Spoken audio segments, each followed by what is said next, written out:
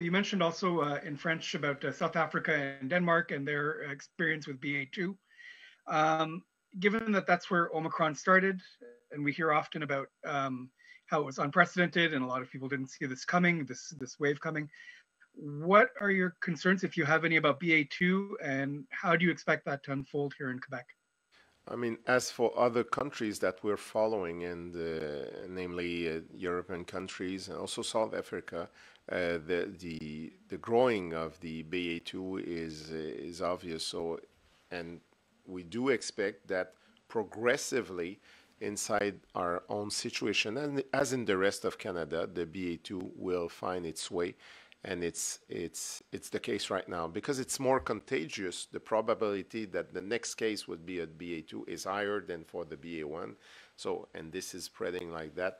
So, uh, and we're not surprised with that. We we could not prevent it. It's it's now in Quebec, and as in Canada in North America, so it's normal. The impact of it will be to increase the risk of contagiosity. So this is why we have to be careful with the way we're going to um, to cope with that on personal basis, just to make sure that it's uh, it's really well understood. In fact, if we are well protected with with uh, the uh, with the vaccine, or if we had had the the Omicron disease recently, the risk of being reinfected is very, very, very low.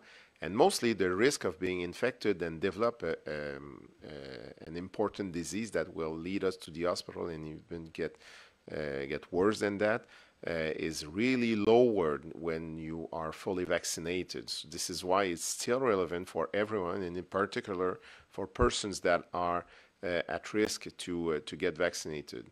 And uh, of course, it's not guaranteed that the vaccines will protect for all of them, but the the the, the efficacy of the vaccine is uh, incredibly high, so we have to benefit of it.